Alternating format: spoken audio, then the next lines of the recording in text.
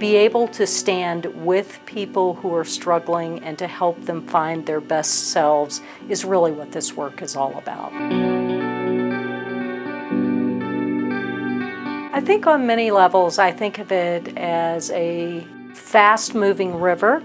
Sometimes it's a gentle flowing stream of richness and goodness as we see children heal, we see families heal. To recognize that as people change, uh, we can have a hand in helping them to change by walking along beside them. Teamwork is invaluable. And continuity and seamlessness among those team members is so vital to helping families succeed.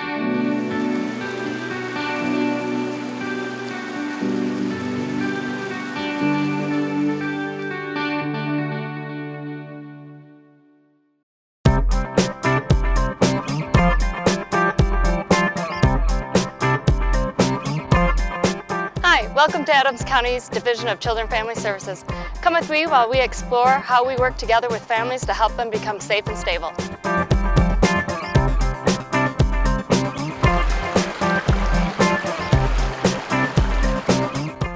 Come, follow me as we begin our journey through child welfare. It all begins with one phone call from a concerned individual. And in our talented screening department, we begin this process. One of our screeners, Noel. Adams County Child Protection, how can I help you? Within screening, our main job function is taking child abuse and neglect referrals. We ask investigative questions to them and explain the process then of how referrals work and, and how they go through our system.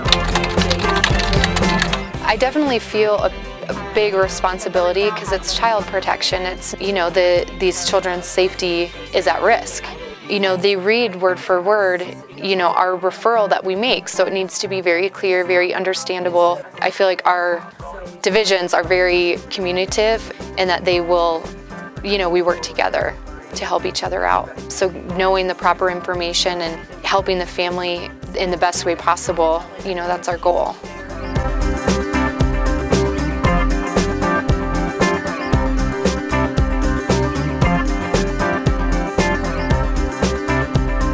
We're the first responders. We're the first contact they've potentially had with the department and kind of set the tone um, from there on out. We would talk with the children, we would talk with the parents to get a better understanding of the situation the family's currently in. The focus is to engage the family and address the worries, the worries that the community has expressed. And, and that could be hard, so it's really a balance in terms of being direct with the concern, but also still engaging the family. One of the things that we do is set up the family team meeting as soon as possible so that that way you can bring everybody to, to the table. If all of us are at the table connecting to try to figure out what the best track is for treatment.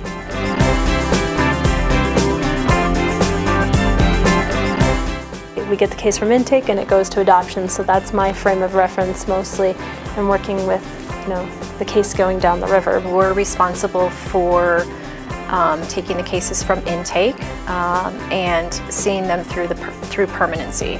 I would say ongoing is kind of the person in the middle between intake and adoptions.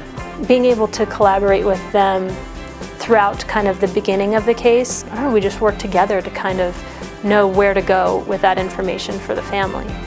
You know, intake does the initial investigation and figures out some of the issues.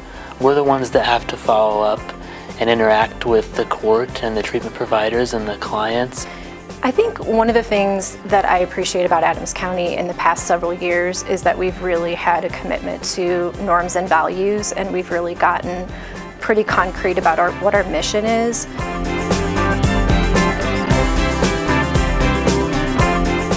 Whenever the Department of Human Services in Adams County gets involved with a family and needs to file a court case in order to achieve its goals, whether it be reunification or protection of children or adult protection. We're the attorneys that file those cases.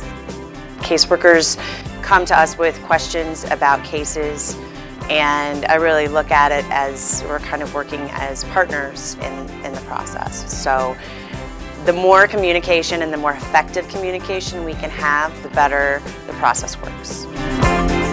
I recruit and train our foster parents, which means that I am the one responsible for finding safe homes for kids to be in while they're removed from their families and working and we're working toward reunification. Our primary goal is always to get those kiddos to return home safely in whatever way that we can do that, whether it's help those kids heal by providing that some temporary safe place for them to be. We've got some really amazing families that do a lot to help our families reunify, which is pretty phenomenal. I think we, there are a lot of resources that we can put in place. I think there are a lot of um, trying to get the gist of kind of what is going on in the family to kind of get a better feel for what the family might need. I think we have um, caseworkers, um, supervisors that are really good at what they do. We're now over at the Annex building, where we have the internal treatment team, better known as ITT. So come with me and let's go talk to a few of the people who help our families become successful. Every family that gets involved with the department is in some way somehow struggling with a child protection concern, whether it's domestic violence, substance abuse, um, physical abuse, sexual abuse on some level. Um, so our goal is to help them understand their role as parents and to become more protective parents. You know, they have the opportunity to be able to speak for themselves, to be able to relay their story, and from the get-go then they're able to um, feel more heard and then that starts to establish more trust.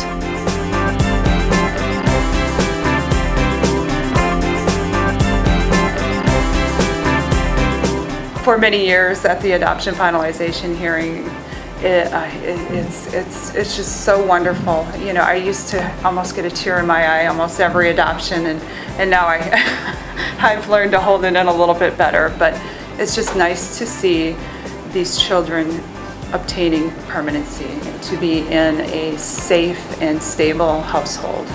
You know, with our families, we're very upfront with that is the goal, and you definitely can get there, and just trying to keep them um, optimistic and to make sure that they still are hopeful that things can move forward. We get to know them. They get comfortable with us. I come in and I say, I'm not here to judge you to say you're a bad parent, but I'm here to help you.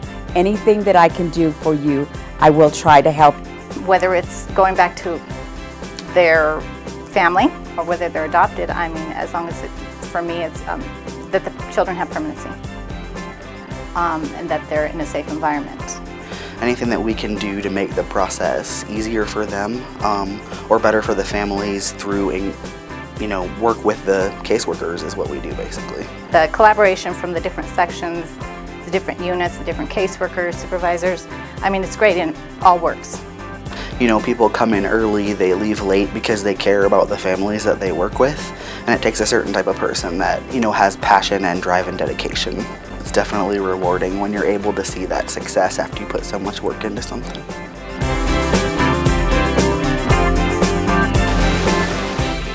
As you can see, when we all work together, it flows smoothly, kind of like a river. And where does that river lead us? It leads us to families that are living safe and stable lives.